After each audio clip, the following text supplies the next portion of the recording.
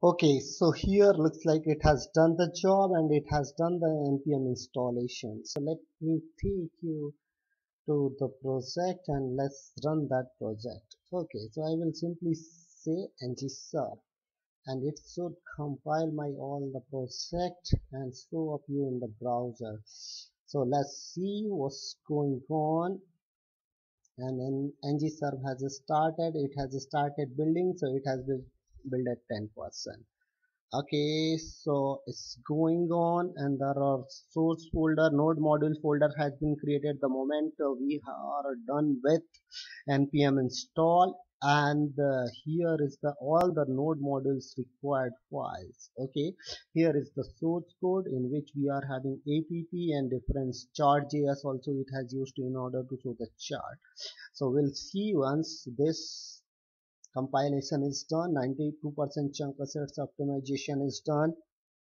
And uh, then let us go to the browser and say localhost 4200 okay. So it has compiled the project for me successfully. Now let's refresh this thing okay somehow connection is refused okay let's see what's happening around.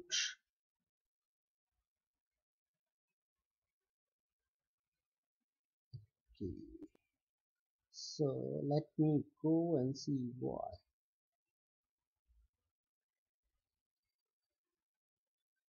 Are we there in the correct directory? Okay let's go and run it again. Okay here is my integrated terminal. Okay which I will say okay root get it closed.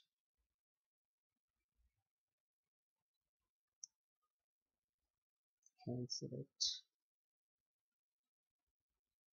So I will type the command again and this show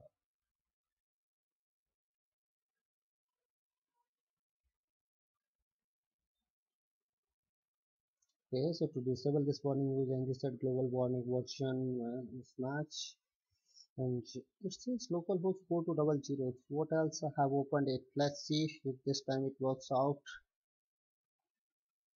And goes well. Okay so until and unless it is not 100% I will not go and run it. And so building all the modules whatever is there and there is no ng live development server is listening on localhost 4200 so we need to um, open the browser for localhost 4200 and let's see.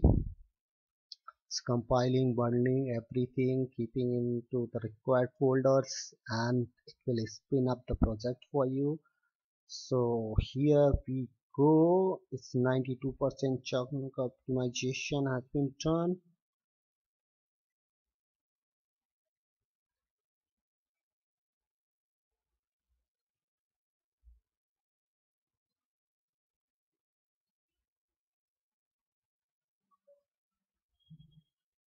it's trying to open it localhost 4200 and it looks like it has opened it and it's coming up. Okay it is taking a little bit more time. Wow it's really awesome. See look at this. You are having user profile over here you are having notification over here you are having dashboard users settings you are having different components over here the which i shown you and it's you are having widgets you are having different kind of charts over here.